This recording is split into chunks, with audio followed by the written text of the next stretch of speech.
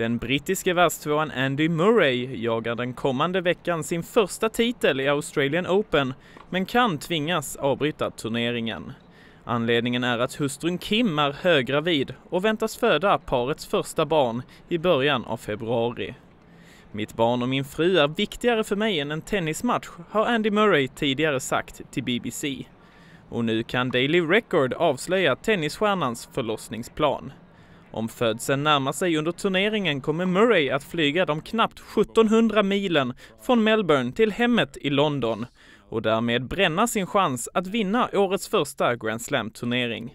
Britten säger till tidningen att han inte har ett plan bokat, men att privatjet kan bli ett alternativ.